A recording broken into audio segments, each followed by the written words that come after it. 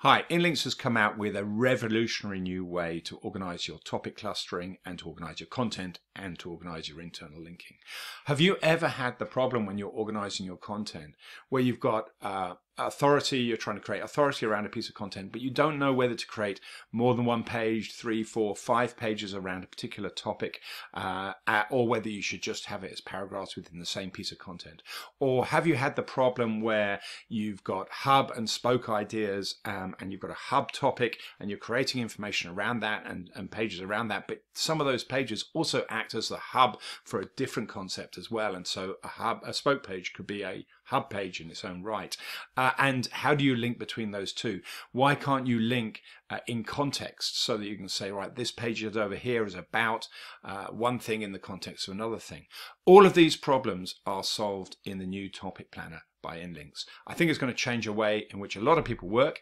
Let's go and see how we can apply it. So this is the topic planner for ruled.me and uh, what we've created is a whole load of topic clusters here around ideas. So the whole website here is about the concept of ketogenic diets. We can add new topics in here from a drop down of all the topics that we found.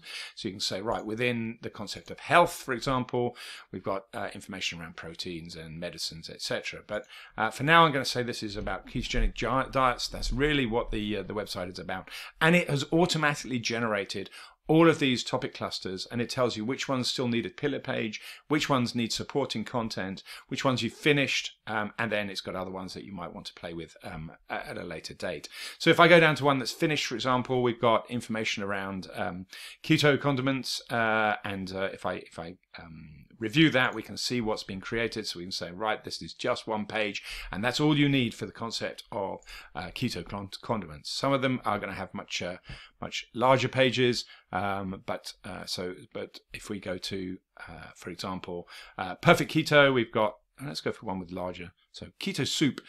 Who knew it was such a big thing? But it's got uh, 8,000 searches a month around the concept of keto soup.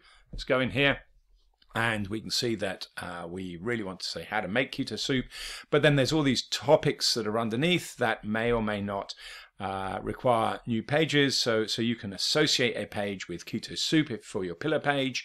Uh, if you've got one in your website already, then you can just select it uh, and uh, choose that as a page. Alternatively, if you know there's one on your site but you haven't put it in the project yet, you can add that from from uh, from here as well. Or if you haven't got any content around Keto Soup at all, you can write a brief and start writing the, the brief. And we've got an advanced brief now as well. so you can create these these bits of content, and it's worked out that really best keto soup at restaurants is probably not something that needs a uh, a new page itself because of the search volume is is too small for it. So it's worked out the whole cluster. It's worked out where you need new pages, and it's worked out where a subtopic is too small to have a warrantor page of its own. Um, and so now we've got all these topics, and we can create those. So how did we get to this place? Well, I'll show you in just a second. But just before I do, let me show you all of the links that have got created around that. So if I look at the pages that have been targeted um, then we can see that these are the pages that have been pretty much automatically targeted around concepts. You can uh, confirm all of these, so you can say, right, do I want to uh, to, to, to confirm these? Uh, and so uh, in in here you've got a confirm button, so uh, everything doesn't have to show straight away. Uh, and then we can see how many links we've got it, and you can see now that the links getting created are from all over the place and they're all highly contextualized. So the links into the uh, keto diet um, energy drink are around beverages, etc. Are all mentioning keto in the uh, in the source page as well. So it's uh, it's beverages in the con- in the context of keto. So this C here means that we've used um, uh, context in the targeting, which means that uh, the um, links are going to be much, much more targeted than they were before. So how did we get to here? Let's go and show you. Well, if you've already got a project on your website, before I dive in, it's going to come up, eh, before you dive into the topic planner, it's going to show you this page. And this page is because if you've already got a huge amount of workflow in your content queue, um, then you may not be ready to jump into the new topic planner because Topic Planner replaces the old Content Planner. So if you uh, don't want to launch it for a particular project now, then you can continue with the old Legacy Planner while you get through your existing queue of content. But for most new websites, this screen won't appear.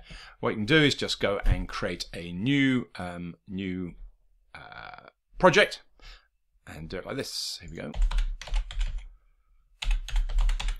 So I'm going to start with uh, ruled.me from scratch. So I'm going to create a blank project for ruled.me.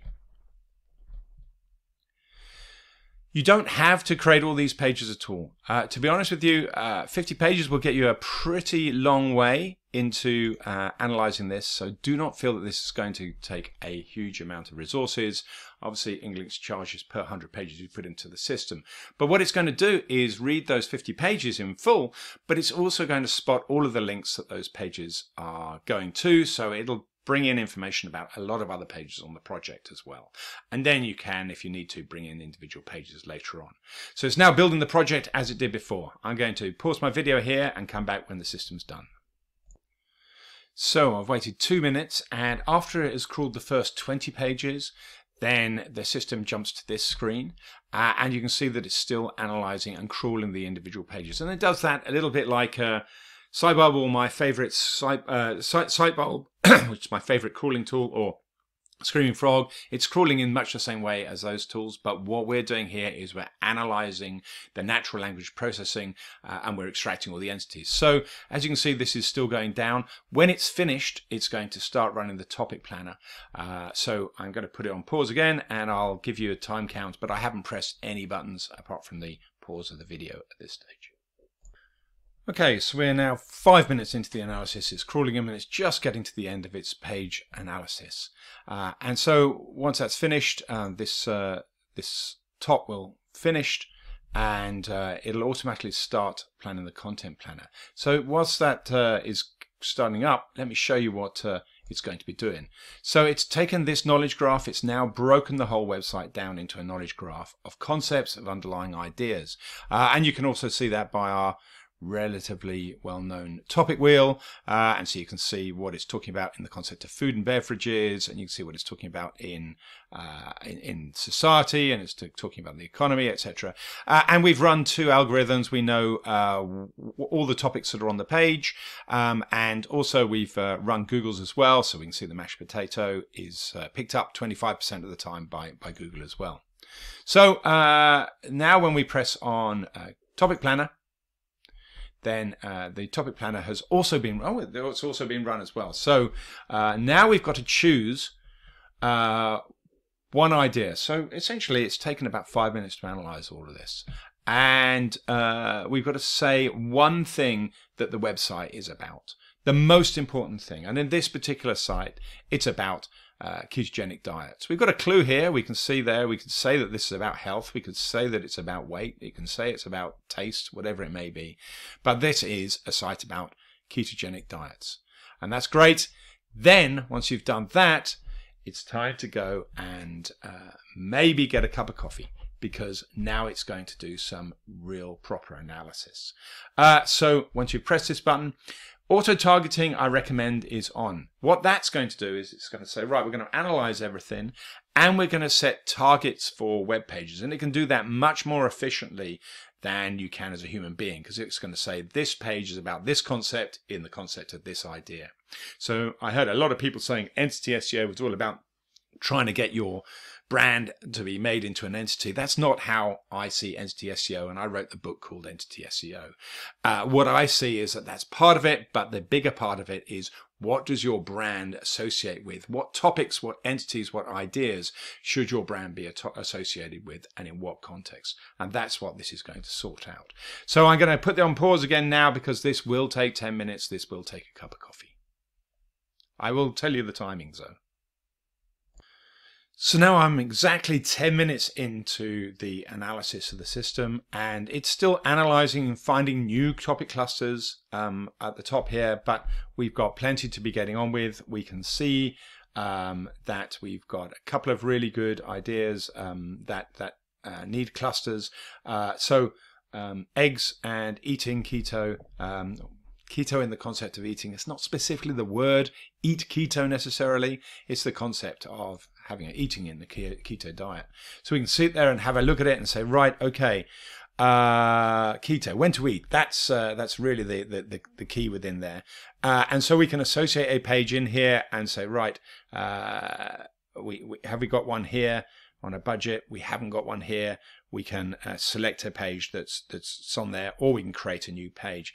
Uh, for the sake of this video, I'm going to say, right, okay, let's going to be this is about when, not um, not if. So we can then create a uh, a pillar page for it, and then we can also associate the pages that are about the the, the other topics as well. So keto at restaurants, um, uh, what to eat, keto when sick. So you've got your your um, different subtopics here, and you can see how uh, powerful uh, and uh, different these subtopics are. And then it's decided that these things like bread and desserts and things, in this context, are, are, are really things that you can put into paragraphs of other of other ideas because their volume is not large enough to warrant a new page. So now we've got the whole topic defined, um, and we can we can go. But let's have a look uh, back now and see what we've created in terms of uh, link ideas as well. So I'm going to switch this around to the targeted pages. And we've already suggested, it's already suggested all these target topics. So it's saying that this page about guide um, keto diet, a comprehensive beginner's guide tips is going to be about the concept of guide, but it's in the context of something else. If I click on that, we can find out what, what, what it's decided. It's saying that this is about um, a guide in the context of ketogenic diet. That sounds about right to me. I can confirm that. It hasn't created any links to it, but it has created schema. And it's also linking out on this page to one of the other pages with the anchor text of carbohydrate diet. And it's going to the definitive guide on low carbs versus keto. That's a pretty impressive link. Let's go and have a look at the next one here. We've got drink in the context of keto. This has got some links coming in. Let's go and see what the, I assume it's in the context of keto. Yes, it is, because if we set up more topics, then it'll be in different contexts. So we've now got um, this to be about drinks primarily, uh, but it still understands the, uh, the relevance to keto. So let's go and see what kind of link anchor text we've got coming in. We've got the anchor text drink here, but the source page has keto in the title. Uh, we've got beverages that are commonly consumed on a ketogenic diet. Well, that's pretty exact. Drinks, uh, and then again, we've got keto in the uh, title here, beverages, uh, and we've got uh, uh, um, keto and keto. So all of the links are coming in about drinks. But they're coming from pages that are also talking about keto, which is not surprising since it's a keto diet, a keto um, thing. Uh, so I can uh, just confirm those those links as well. Um, and every time I press the confirm, this TBC disappears. And that's because over here, you can have those links all arriving on your website with one line of JavaScript if you want to. Uh, we would recommend that. If uh, you want to take the long way around, then uh, of course you can uh, export all those links and manually put them onto your website as well. Um, however, you can see just how much work you're going to have to do putting all these links on. For example, this page here on carbohydrates, we've already found 28 links. We've already got the exact anchor text for them. They're all in the context of uh, keto. So now we can go back and have a look look at where we, where our topic planner is has gone now. We go back to our topic plus list, and we can start to generate a whole new content queue. We can also say, right, we've got another overall arching topic as well. So we can say, right, we've written all of our stuff about uh, keto diets, and now I really want to have another huge section on, for example, health. Uh, and so I can then create another topic around health, and now I can create uh, targets and links that are in the context of health. So as you're planning your content now, everything can really, the workflow can all be done from this screen. So let's say you want to improve your keto coffee um, cluster. Uh, so you've got a, a list here. You uh, first need to associate a page with the concept of coffee. Um, so you can uh, choose a page, uh, keto proof coffee. There we go. Select that.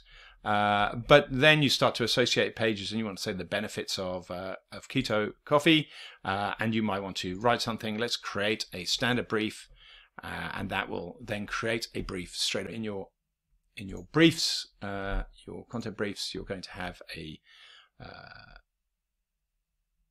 a brief around content coffee bean keto coffee beans uh, and so you can then uh, write your content from there or edit your content from there. That's a different part of the the system. Um, uh, but you can uh, develop all your all your information out and uh, create the content cluster. So uh, what are we doing here?